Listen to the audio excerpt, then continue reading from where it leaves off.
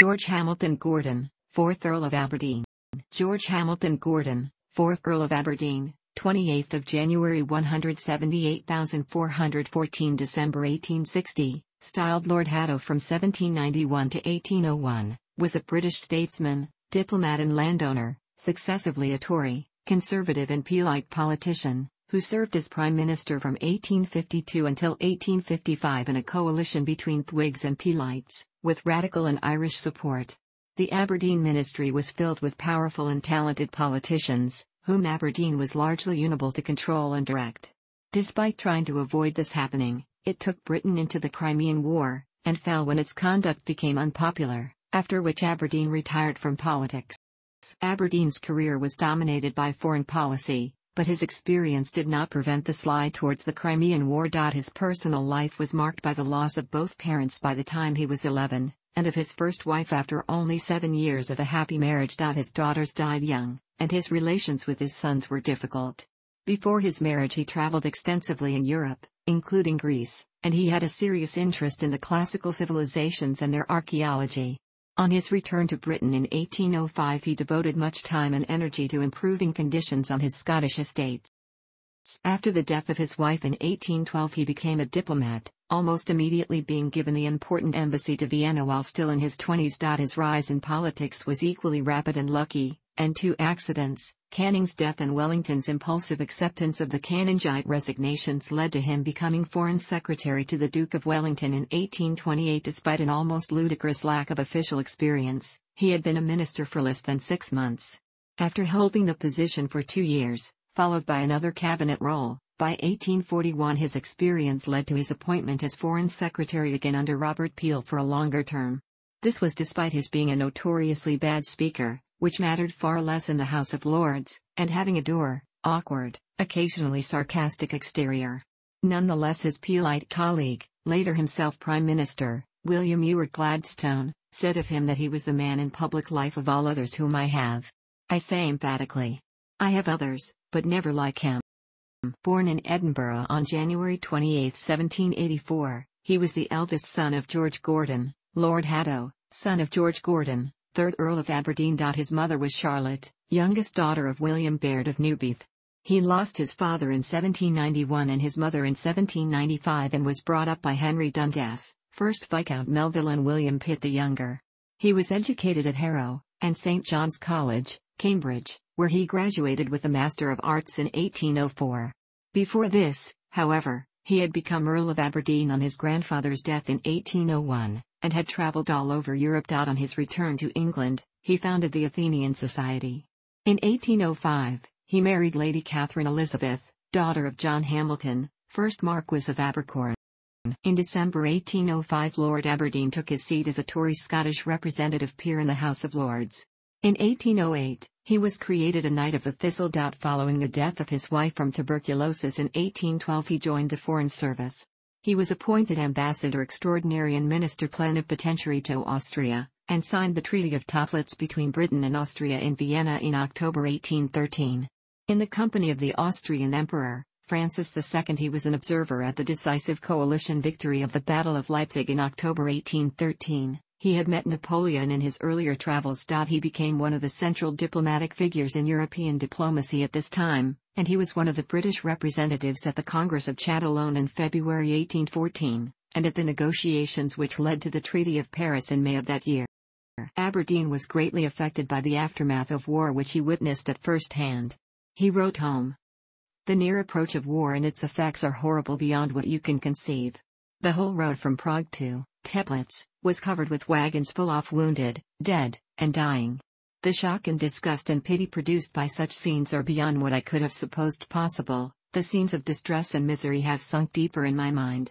I have been quite haunted by them. Returning home, he was created a peer of the United Kingdom as Viscount Gordon, of Aberdeen in the county of Aberdeen, 1814, and made a member of the Privy Council. In July 1815, he married his former sister in law Harriet, daughter of John Douglas, and widow of James Hamilton, Viscount Hamilton, the marriage was much less happy than his first. During the ensuing 13 years Aberdeen took a less prominent part in public affairs.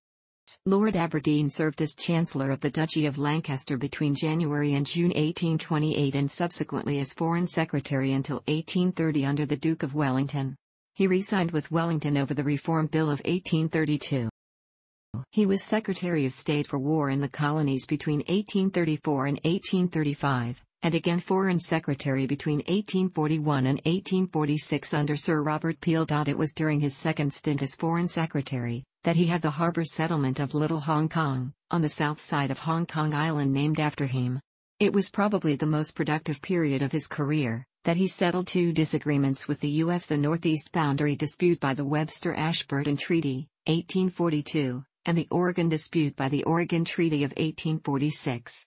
He also worked successfully to improve relationships with France, where Guizot had become a personal friend.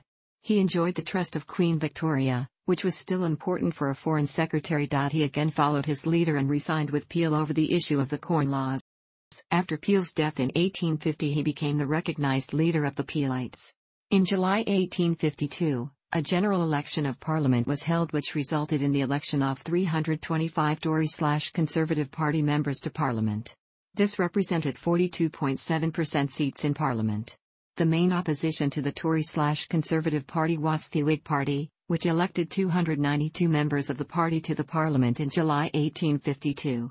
Although occupying fewer seats than the Tories/Conservatives, the Whigs had a chance to draw support from the minor parties and independents who were also elected in July 1852. Lord Aberdeen as the leader of the Peelites was one of 38 Peelites elected to members of Parliament independently of the Tories/Conservative Party.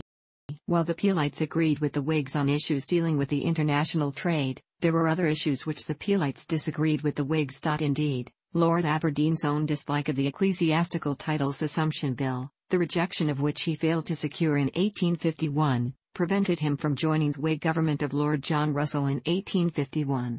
Additionally, 113 of the members of Parliament elected in July 1852 were free traders. These members agreed with the Peelites on the repeal of the Corn Laws, but they felt that the tariffs on all consumer products should be removed. Furthermore, 63 members of Parliament elected in 1852 were members of the Irish Brigade, who voted with the Peelites and the Whigs for the repeal of Corn Laws because they sought an end the Great Irish Famine by means of cheaper wheat and bread prices for the poor and middle classes in Ireland. Currently, however, neither the Free Traders and the Irish Brigade had disagreements with the Whigs that prevented them from joining with the Whigs form a government. Accordingly, the Tory slash Conservative Party leader the Earl of Derby was asked to form a minority government. However, the Earl of Derby appointed Benjamin Disraeli as the Chancellor of the Exchequer for the minority government. When in December 1852, the new Chancellor of the Exchequer submitted his budget to Parliament on behalf of the minority government, the Peelites, the Free Traders and the Irish Brigade were all alienated by the proposed budget. Accordingly, each of these groups suddenly forgot their differences with the Whig Party and voted with the Whigs against the proposed budget. The vote was 286 in favor of the budget and 305 votes against the budget. Because the leadership of the minority government had made the vote on the budget vote a vote of confidence in the minority government, the defeat of the Disraeli budget was a vote of no confidence in the minority government and meant the downfall of the minority government. Accordingly, Lord Aberdeen was asked to form a new government.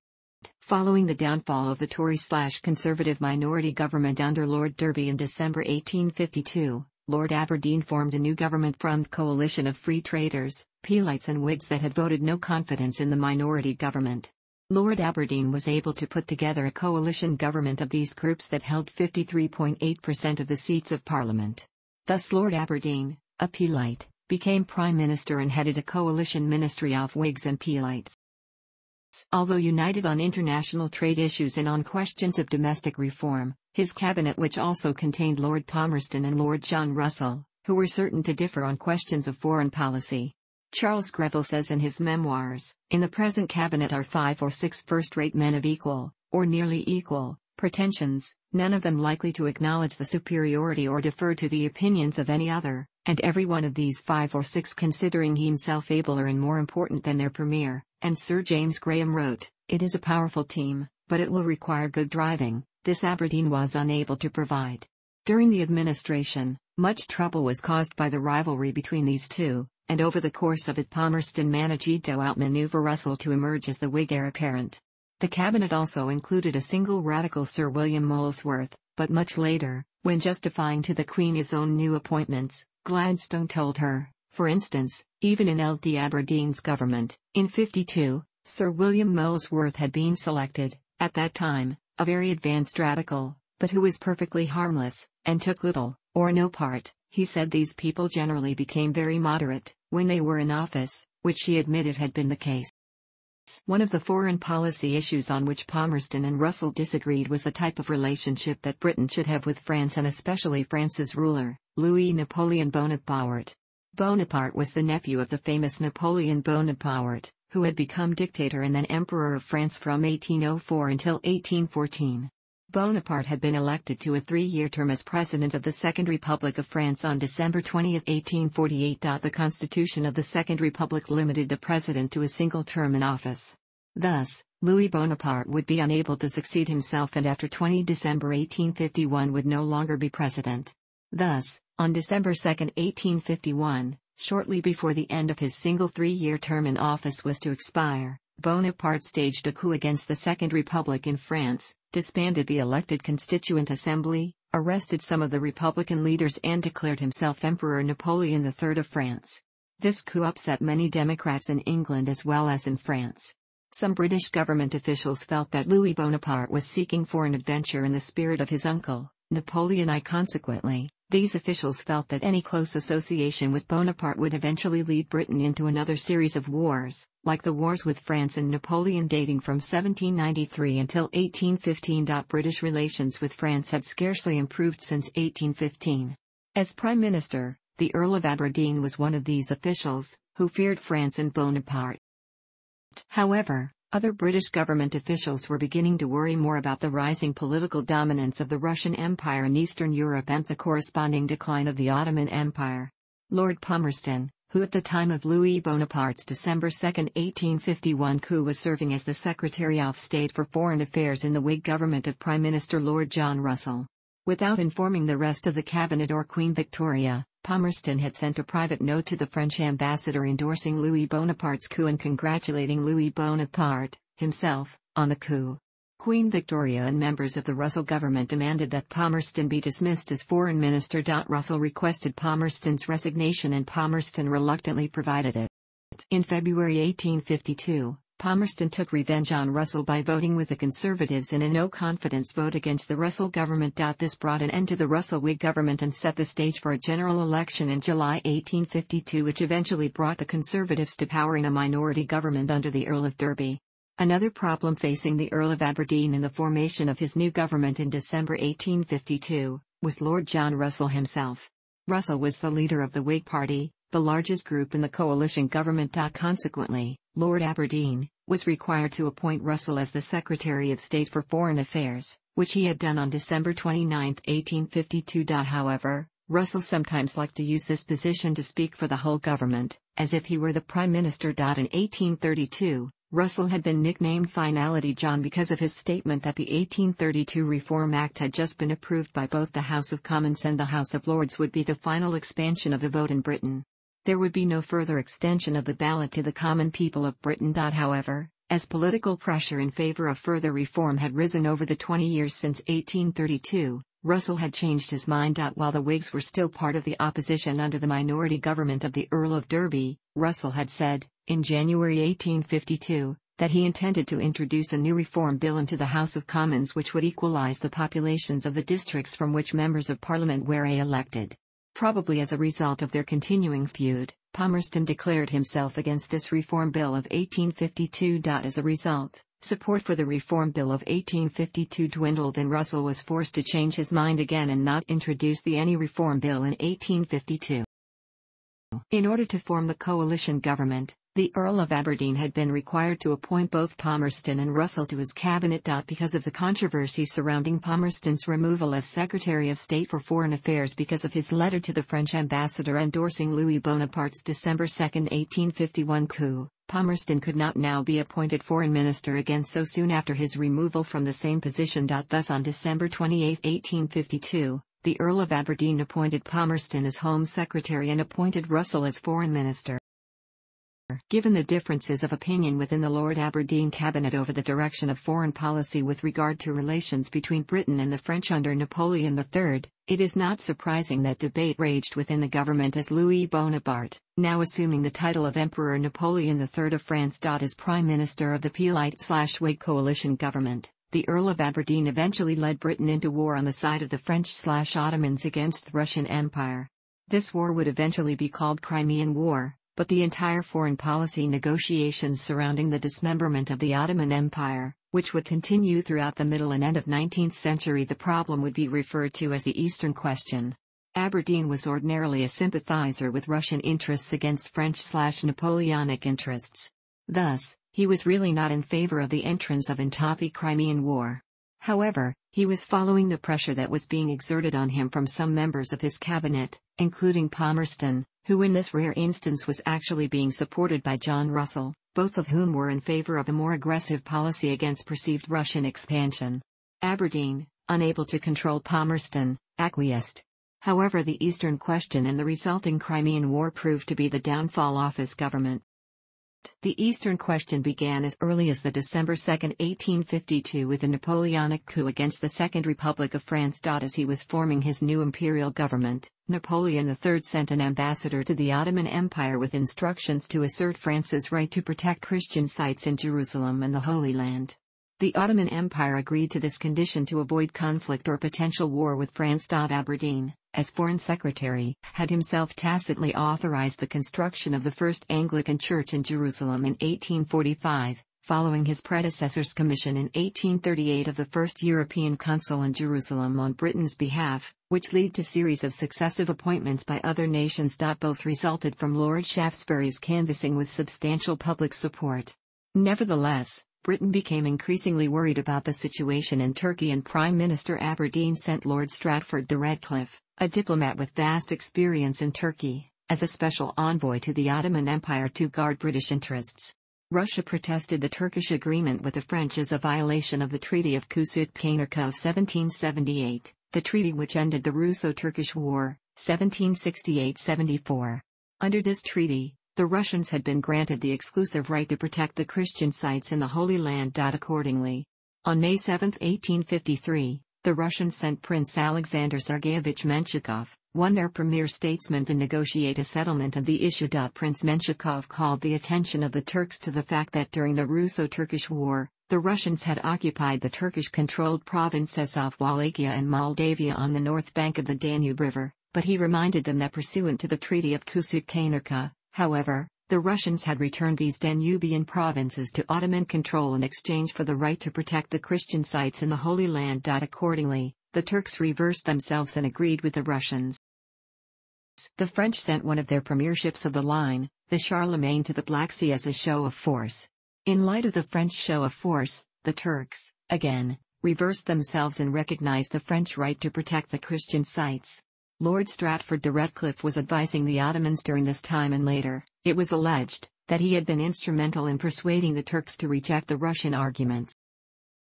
As war became inevitable, Aberdeen wrote to Russell the abstract justice of the cause, although indisputable, is but a poor consolation for the inevitable calamities of all war, or for a decision which I am not without fear may prove to have been impolitic and unwise. My conscience upbraids me the more, because seeing, as I did from the first, all that was to be apprehended, it is possible that by a little more energy and vigor, not on the Danube, but in Downing Street, it might have been prevented.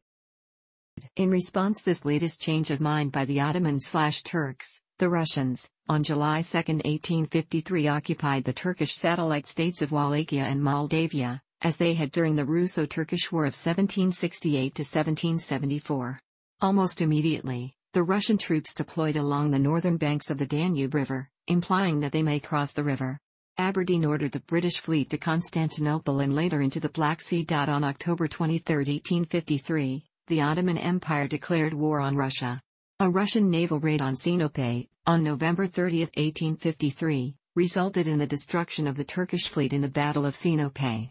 When Russia ignored an Anglo-French ultimatum to abandon the Danubian provinces, Britain and France declared war on Russia March 28, 1854.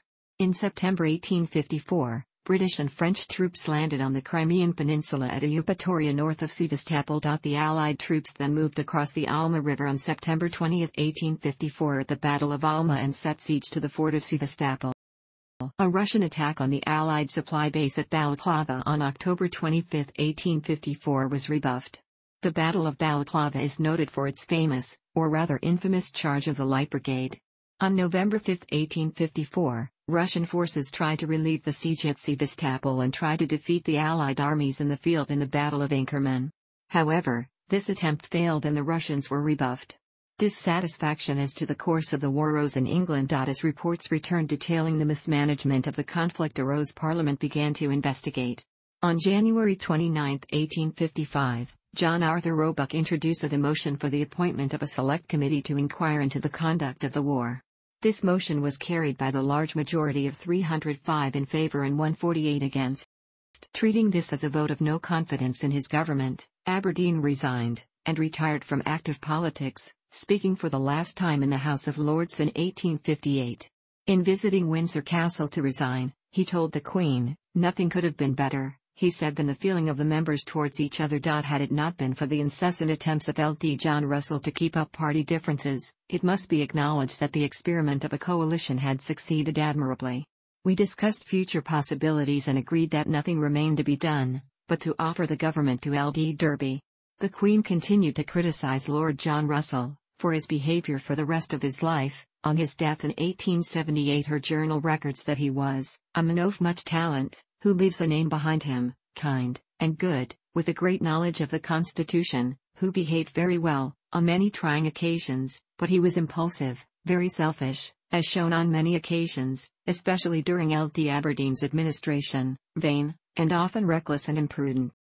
Lord Aberdeen married Lady Catherine Hamilton, January 10, 1784, February 29, 1812, daughter of Lord Abercorn, on July 28, 1805. They have four children. He remarried Harriet Douglas, paternal granddaughter of James Douglas, 14th Earl of Morton and maternal granddaughter of Edward Lascelles, 1st Earl of Harewood, on July 8, 1815. They have five children. The Countess of Aberdeen died in August 1833. Lord Aberdeen died at Argyle House, St. James's, London, on December 14, 1860, and was buried in the family vault at Stanmore Church. In 1994 the novelist, columnist and politician Ferdinand Mount used George Gordon's life as the basis for a historical novel, Umbrella. Apart from his political career Aberdeen was also a scholar of the classical civilizations, who published an inquiry into the principles of beauty in Grecian architecture, London, 1822, and was referred to by his cousin Lord Byron in his English Bards and Scotch Reviewers, 1809, as the travelled Thane, Athenian Aberdeen. He was appointed Chancellor of the University of Aberdeen in 1827 and was President of the Society of Antiquaries of London. Aberdeen's biographer Muriel Chamberlain summarizes religion never came easy to him. In his Scots landowning capacity north of the border, he considered himself ex officio a Presbyterian. In England he privately considered himself an Anglican, as early as 1840 told Gladstone he preferred what Aberdeen called the Sister Church of England, and when in London worshipped at St James's Piccadilly. He was ultimately buried in the Anglican parish church at Stanmore, Middlesex.